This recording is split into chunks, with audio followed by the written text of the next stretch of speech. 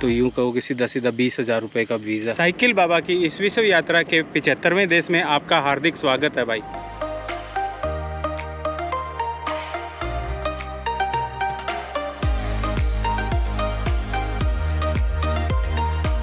Good morning सलाम, नमस्ते, सत श्रीकाल क्या हाल चाल भाई लोगों मैं? आपका दोस्त, आपका भाई, डॉक्टर राज साइकिल बाबा, विश्व साइकिल यात्री, एक बार फिर आ गया हूँ भाई। अभी हमारे से बॉर्डर सिर्फ़ दो किलोमीटर दूर है और हम जा रहे हैं गाबोन और कैमरून के बॉर्डर की तरफ़। इबोला बॉर्डर बोलते हैं इसको।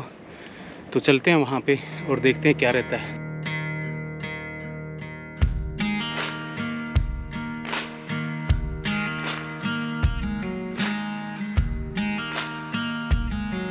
मैं दोबारा से आपको बाइतम में दिख रहा हूँ। मेरे को इमिग्रेशन वालों ने रोक लिया वहाँ पे।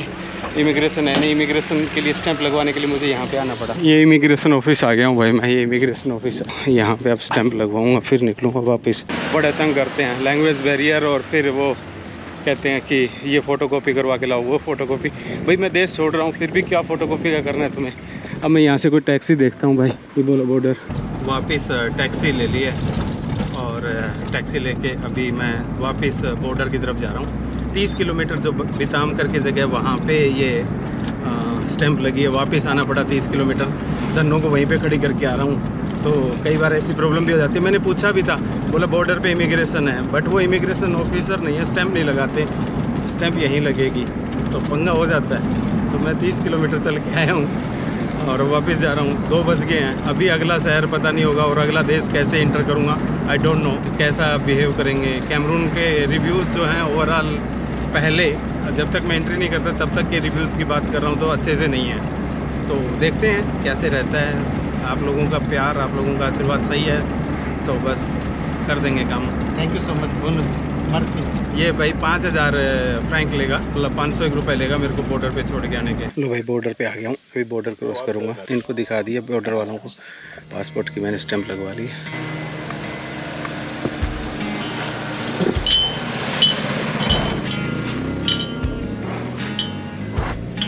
ओके लो भाई हम दो देशों के बीच में चल रहे हैं। अभी ये जो पुल स्टार्ट हो रहा है ये दो देशों की बाउंड्री है। इस साइड जो है गैबोन है। आगे सामने जो दिख रहा है वो कैमरून खैमरून और ये देखिए, कितना काला पानी है इस नदी का। रेन फॉरेस्ट से आ रही है ना तो थोड़ा सा ज़्यादा ही काला लिख रहा है। और फॉरेस्ट देखना कितना मस्त दिख रहा है। साइकिल बाबा की इस विश्व यात्रा के पिछहत्तरवें देश में आपका हार्दिक स्वागत है भाई। हम पहुँच गए कैमरून, रिपब्लिक ऑफ़ कैमरून। गाबोन की तरफ़ से हम बाय बाय बोल के आए हैं। अब कैमरून में थोड़ा सा करेंगे धमाल और फिर अगले कंट्री के लिए निकल जाएँगे। तो यहाँ से युवांडे जो कैपिटल सिटी है, वो लगभग 300 किलोमीटर है।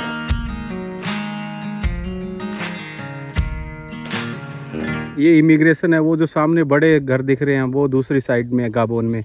और इस साइड में कुछ भी नहीं है, बस सिंपल थोड़ा सा है ये। पहला गाँव जो आता है बॉर्डर पे इबोला करके बॉर्डर है उससे हमने इंटर किया है भाई, गाबोन से कैमरून की तरफ़। सामने खूबसूरत सा लंबा सा पेड़ दिख रहा है। ये पेड़ जो है रेन फॉरेस्ट की जान होती है और इसको काट काट काट काट काट काट ख़त्म किया जा रहा है। पॉपुलेशन तो है यार यहाँ पे। रोड साइड में पहले एंट्री में ही पता चल जाता है। केले देखो कैसे लोड करके ला रहा गाड़ी में।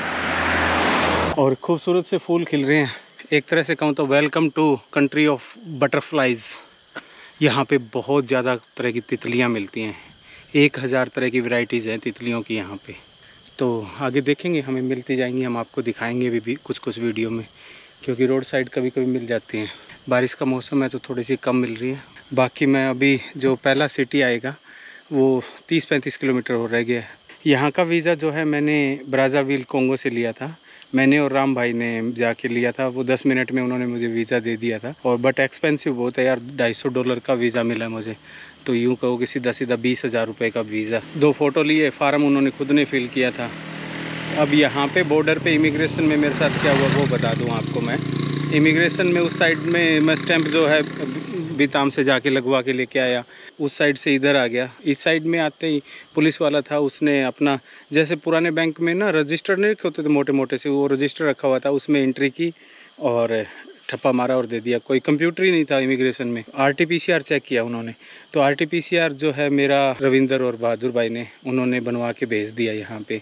उन्होंने मुझे व्हाट्सअप कर दिया था, मैंने उसका प्रिंट आउट निकाल लिया, उसने फ़ोटो क्लिक कर ली। और मोस्ट इम्पोर्टेंट यार, अगर आप इन कंट्रीज़ में आओ ना तो येलो वैक्सीनेशन कार्ड ज़रूर लेके आना। बगैर येलो वैक्सीनेशन कार्ड आपको तंग करेंगे ही करेंगे।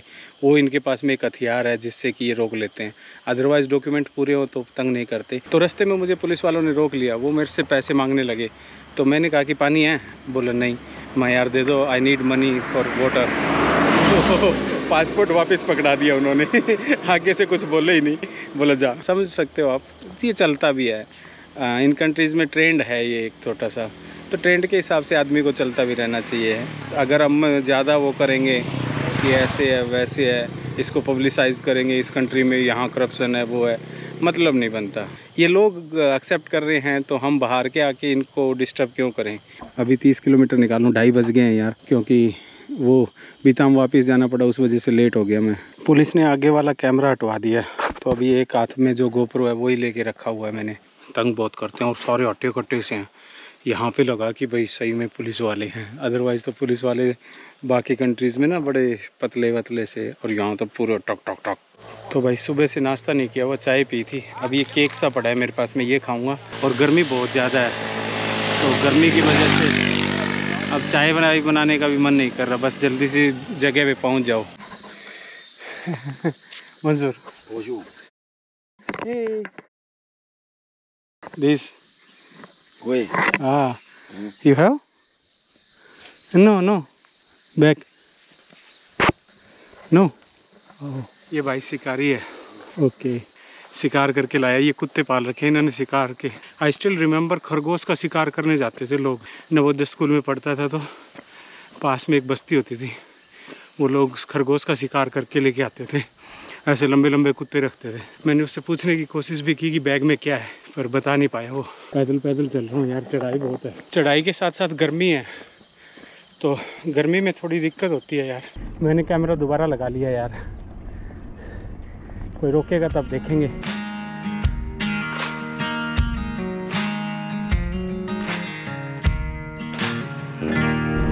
यहाँ पे बोडा बोडा चलता है। बोडा बोडा पे पूरा सामान लोड करके फिर चलते हैं। बाइक के ऊपर पूरा सामान पीछे बाँध लेंगे। तीन चार सवारी हो जाएगी। टैक्सी चलती है वो। सो बोडा बोडा इज़ टैक्सी है यार।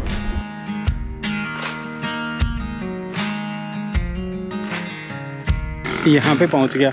मुझे जाना इस साइड है, पर ये छोटी सी सिटी है टाउन सा है। तो आज मैं यहाँ रुकूँगा। अभी साढ़े चार के करीब टाइम हो गया। है अभी कोई गेस्ट हाउस देखता हूँ। फिर सिम कार्ड लेता हूँ कोई। पहले गेस्ट हाउस में रूम देख के ना और फिर सिम कार्ड लूँगा कोई।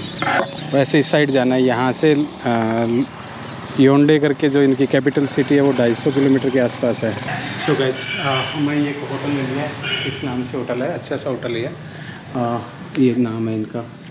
इस लैब दिया दाल हवेली क्या है? पढ़ के बताना यार। यहाँ पे लिखा हुआ होटल। और रेट देखो। मैंने दी छोटे वाला लिया सत्रह हज़ार सिफा का। मैंने इसको कहा माता थोड़ा कम कर दे। बोले कि नहीं इतने में ही मिलेगा। तो रूम में आपको दिखाऊँगा। मैंने रूम में दोनों खड़ी कराया हूँ। अभी इनको पेमेंट करनी है। तो पेमेंट करके और फिर सिम कार्ड लेके आऊँगा भाई। अभी हालत मेरी भी ख़राब सी हो रही है। ह्यूमिडिटी बहुत थी यार आज। सोच भी नहीं सकती इतनी ह्यूमिडिटी शायद 90 परसेंट से भी ऊपर। पानी गिर रहा था। मैंने इनसे पूछा कि, कैमरा यूज़ कर लो। बोला, अपना अपना कर लो। मेरा मत करना। हाँ मैं सिम कार्ड लेने के लिए निकला हूँ यार। मैंने फ़ोन से ही वीडियो बनाना अच्छा समझा यहाँ पे। सब लोग जो है गुर गुर के देख रहे हैं। तो फ़ोन से अच्छा होता है। इजी भी बन जाता है। थोड़ी वॉइस का प्रॉब्लम रहता है। पर क्या तंगा रहता है कि आ, लोगों की नज़रों में नहीं आते आप। मैं एम की दुकान पे आ गया। उन्होंने मुझे बैठा दिया। पासपोर्ट ले लिया। एक बार बोला कि अभी हम वो पासपोर्ट से उसको वो करेंगे इंस्टॉल करेंगे। इंस्टॉल करने के बाद में मुझे देंगे। देखते हैं वेट करते हैं।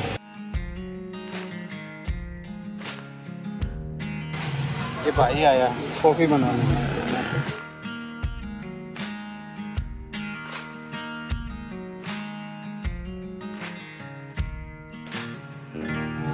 ठंडी करके दे रहा है।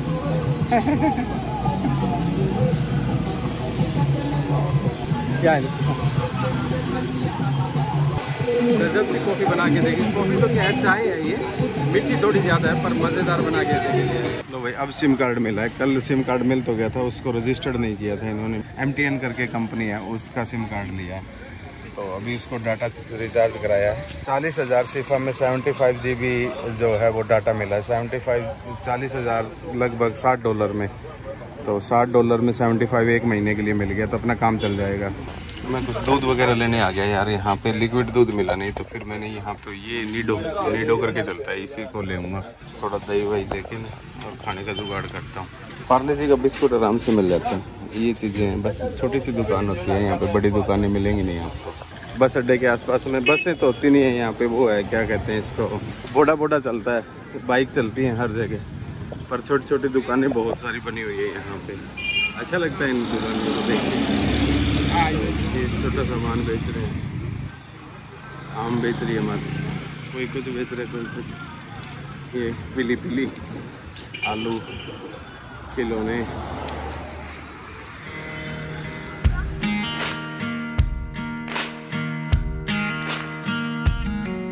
और ऐसे माताएँ अपने बच्चों को लेके चलती हैं। 99 परसेंट बच्चे को ऐसे बाँध के रखते हैं। क्या माता मूंगफलियाँ छाट रही है।